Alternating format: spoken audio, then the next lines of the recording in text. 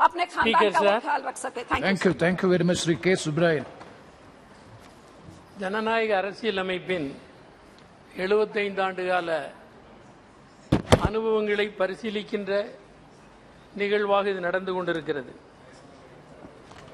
தேசிய விடுதலை இயக்கத்திலும்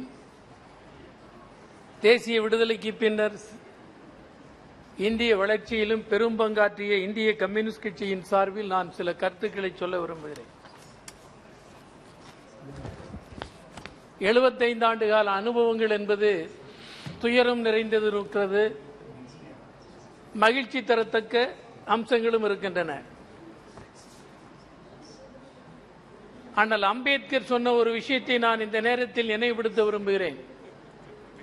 ஆயிரத்தி தொள்ளாயிரத்தி நாற்பத்தி ஒன்பது நவம்பர் இருபத்தைந்து இருபத்தாறு அரசியல் நிர்ணய சபையில் அரசியல் சட்டம் நிறைவேற நிறைவேற்றப்பட்டு நிறைவுரையாற்றிய போது குறிப்பிட்டார்கள்.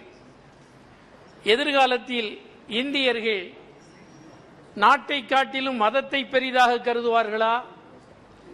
அல்லது மதத்தை காட்டிலும் நாட்டை பெரிதாக கருதுவார்களா என்று எனக்கு தெரியவில்லை. ஆனால் நாட்டை காட்டிலும் மதத்தை பெரிதாக கருதுவார்களே ஆனால் இந்தியா இரண்டாவது முறையாக மீள முடியாத சிக்கலில் சிக்கி சீரழியும் என்று எச்சரித்தார். அந்த எச்சரிக்கையை இந்த 75 ஆண்டு கால அனுபவங்களில் கடந்த ஒன்பது ஆண்டு காலம் ஏற்பட்டிருக்கிற அனுபவம் என்பது துயரம் நிறைந்ததாகும். மதிப்புமிக்க உயிர்கள் பலவற்றை கொடுத்து பெற்ற விடுதலை இன்றைக்கு கேள்விக்குறியாக்கப்பட்டு விட்டது. நாடு என்பது வெறும் வகுப்பறைகளில் தொங்குகிற மேப்பில் இல்லை.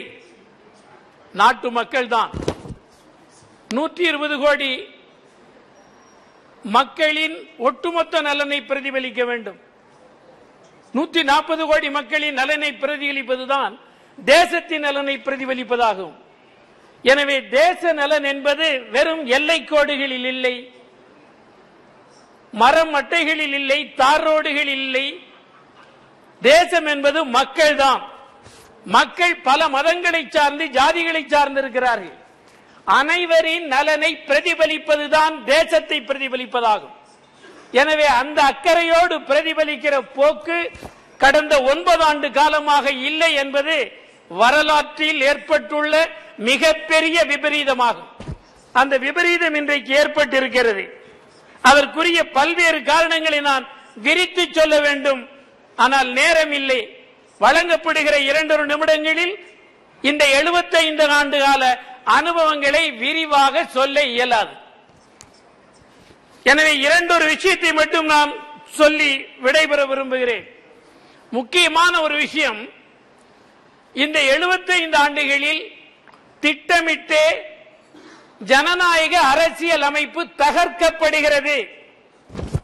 ஜனநாயகத்தின் பெயரால் ஆட்சிக்கு வந்துவிட்டு ஜனநாயக அரசியல் அமைக்கிற அமைப்பை தகர்க்கிற போக்கு நீடிக்கிறது. இந்த போக்கு ஆபத்தானதாகும். அதே மாதிரி நாடாளுமன்ற முறையை படிக்கட்டுகளை மண்டியிட்டு வணங்குவதால் நாடாளுமன்றம் வளர்ந்து விடாது. நாடாளுமன்ற உள்ளடக்கத்தை காப்பாற்றுகிற ஆட்சியாக இந்த ஆட்சியாளர்கள் இல்லை. இவர்கள் நாட்டை நேசிக்கவில்லை நாடாளுமன்ற முறைகளை நேசிக்கவில்லை வெறும் தோற்றங்களை மட்டுமே வெளிப்படுத்திக் கொண்டிருக்கிறார்கள். எனவே தேச நலனை பிரதிபலிக்கவில்லை நாட்டு நலனையும் பிரதிபலிக்கவில்லை நாடாளுமன்ற முறைகளையும் காப்பாற்றவில்லை ஜனநாயக மரபுகளையும் காப்பாற்றவில்லை. அரசியல் சாசனத்தையும் காப்பாற்றவில்லை. எனவே இந்த ஆட்சி நீடிப்பது 75 ஆண்டுகளுக்கு முன்னர் விலை மதிப்பற்ற உயிர்கள் பலவற்றை கொடுத்து விடுதலை பெற்ற விடுதலையை இழக்க நேரிடும். ஜி டுவெண்டி பற்றி பெரும் பாராட்டி சொன்னார்கள். அமெரிக்காவோடு என்ன ஒப்பந்தம் போடப்பட்டிருக்கிறது? இஸ்ரேலோ இஸ்ரேலோடு என்ன ஒப்பந்தம் போடப்பட்டிருக்கிறது? ஜவஹர்லால் நேரு அவர்களால் உலக அரங்கில் மதிப்புமிக்க ஒரு பிம்பம் இந்தியாவுக்கு உருவாயிற்று அந்த பிம்பம் சிதைக்கப்பட்டிருக்கிறது இன்றைக்கு இஸ்ரேலோடு கூட்டணி யுஎஸின் பட்டிகளில் கட்டப்பட்டுள்ள மாடுகள் மாதிரி இன்றைக்கு இந்தியா அவர்களுடைய கைக்கு சென்றிருக்கிறது இவற்றிலிருந்து. மீட்க வேண்டுமானால் இந்த ஆட்சி ஜனநாயகத்தை காப்பாற்றாது அரசியல் சட்டத்தை காப்பாற்றாது. நாடாளுமன்ற முறையை காப்பாற்றுவா- காப்பாற்றாது. எனவே இதற்கு விடிவு கொடுப்பதன் மூலம்தான் இந்தியாவை காப்பாற்ற முடியும். இந்திய அரசியலை காப்பாற்ற முடியும். ஜனநாயகத்தை காப்பாற்ற முடியும். நன்றி. நன்றி. வணக்கம். Nandri Vanakam. Sri Jaydev Gallaji.